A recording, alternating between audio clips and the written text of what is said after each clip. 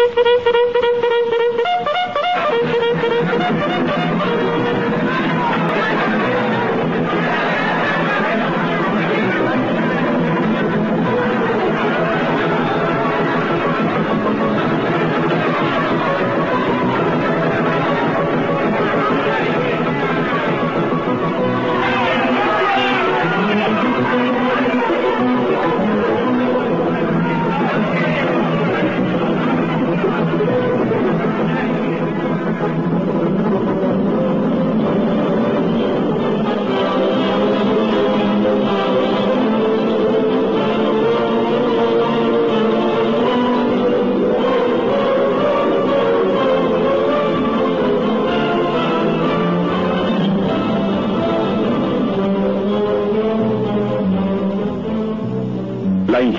Mexicana plasma sus páginas más brillantes en el diseño y construcción de la estructura que es ya insustituible en la vida del Distrito Federal, el metro.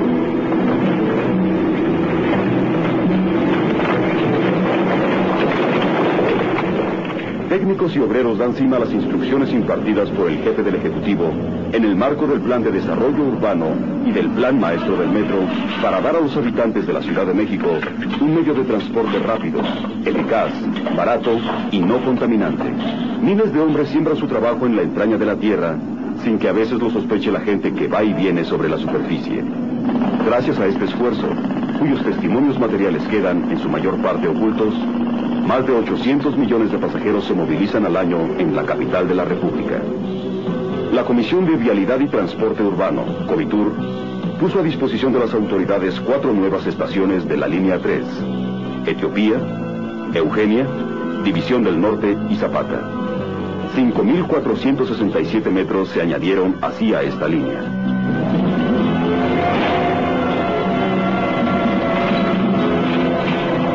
Largo de esta prolongación se construyeron tres estacionamientos a fin de que los automovilistas no se vean obligados a entrar con sus vehículos al conflictivo centro de la ciudad.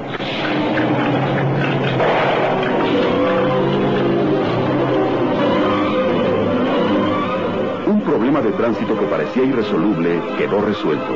El de la Glorieta Riviera o de Pancho Villa, donde se cruzan tres de las más transitadas avenidas. Universidad, Cuauhtémoc y División del Norte.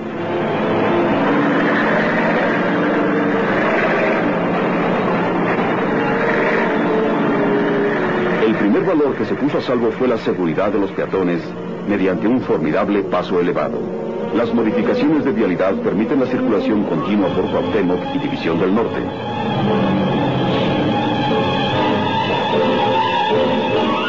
El 20 de marzo de 1978 se inició en la calle de Inguarán la línea 4, que será la primera línea elevada del sistema. Sobre esta sólida estructura se movilizarán fundamentalmente trabajadores y estudiantes de zonas populares a lo largo de 10.37 kilómetros de vías. La obra avanza de la delegación Gustavo Amadero a la parte norte de Iztacalco y se calcula que estará terminada a mediados de 1981. Con la misma intensidad se trabaja en la línea 5, iniciada también en 1978. La estación Angares, subterránea, es una de las 12 que integrarán este nuevo ramal con longitud de 14.26 kilómetros. Unirá zonas de vivienda popular con los grandes complejos industriales de Vallejo y Tlalnepantla, donde los jefes de familia tienen sus empleos.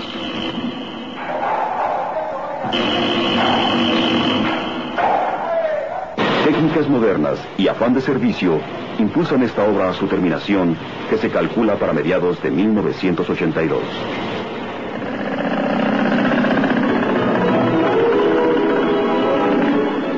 Talleres de revisión en Ticomán son una parte muy importante del metro.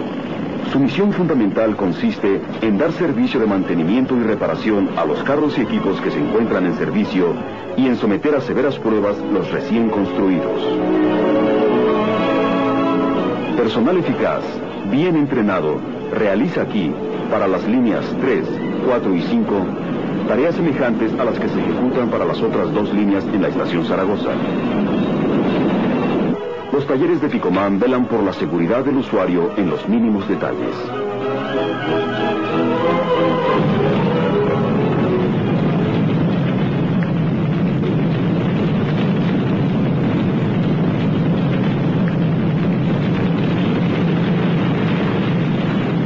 Una de sus más altas responsabilidades será la de mantener el sistema de piloto automático que comenzó a aplicarse desde diciembre del año pasado en la línea 3.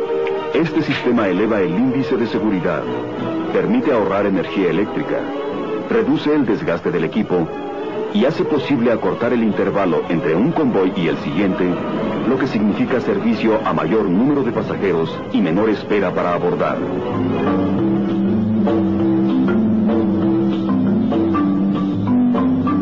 Nuevos símbolos para nuevas estaciones.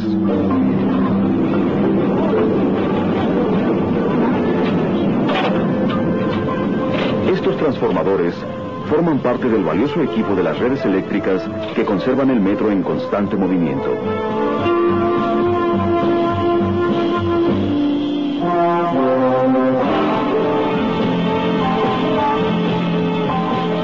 Los técnicos de Covitur tienen plena conciencia de ello y verifican con gran responsabilidad el funcionamiento impecable del equipo para garantizar un servicio cada vez mejor. Si las vías están abiertas, no debe de haber demanda de corriente excesiva.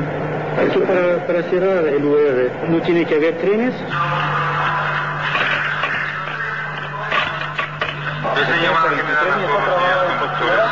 Precaución en la maniobra de, de indios verdes, así como en la maniobra de Zapata. Personal autorizado en las vías. Maniobra B de Zapata y maniobra B de indios verdes, personal autorizado en vías. Mira, la motriz de reloj, son las 127, 128, y he perdido tres vueltas. Sale inmediatamente, por favor, a los 16.30. Sostenemos de telecomunicaciones de sector número el teléfono de la motriz 116, ¿cómo me?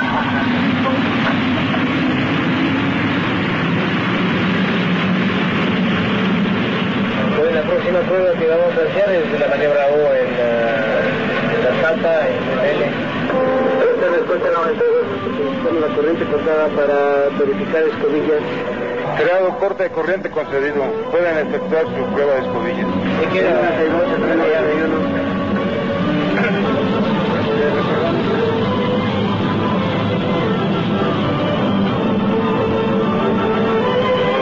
Yo verifico estas escobillas, tú verificas las otras.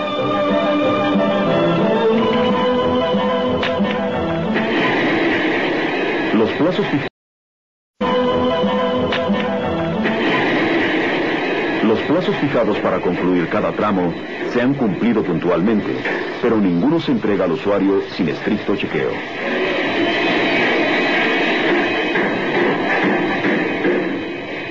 El público encontrará las instalaciones flamantes, pues a la par que seguridad, rapidez y eficacia, estas estaciones ofrecen el atractivo de su espléndida limpieza y su bello diseño arquitectónico.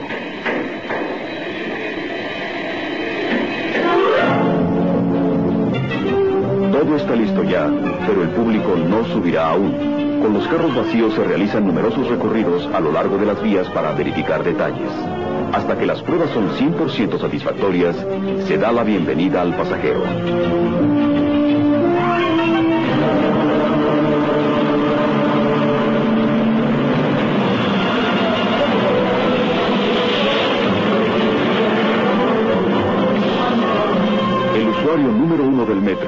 El presidente José López Portillo, llega a la ampliación sur de la línea 3 para ponerla en servicio. En una ceremonia histórica, develó la placa que conmemora el nuevo esfuerzo. En compañía del jefe del Departamento del Distrito Federal, profesor Carlos Jan González, el presidente observa la maqueta de los proyectos y sobre la marcha, el primer mandatario ordena que se den los pasos necesarios para que el metro llegue hasta la ciudad universitaria. Miles de vecinos beneficiados aclaman al titular del Poder Ejecutivo. Tras el presidium, se contempla parcialmente uno de los estacionamientos que se han construido a lo largo del sistema.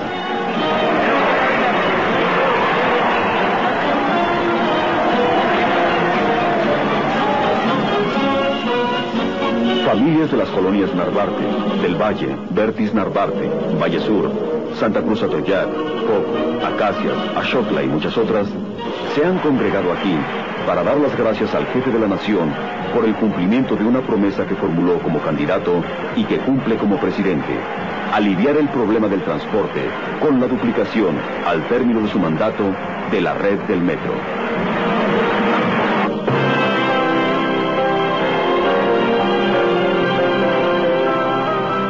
Sí, la promesa se cumple. Se está cumpliendo. La complejidad del problema del transporte, según lo ha reiterado el jefe del departamento del Distrito Federal, no permite ser resuelta con una sola medida, sino con varias, congruentes y coordinadas. El metro es una de ellas, la clave de todas. El progreso es un movimiento dialéctico incesante, pero gracias a la planeación se construye para el presente y para el futuro.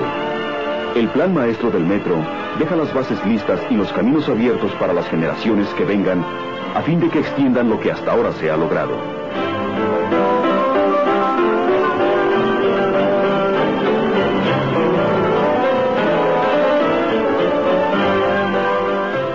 El metro es presencia insustituible de la vida de la Ciudad de México, que seguirá creciendo hasta que el problema del transporte popular quede resuelto.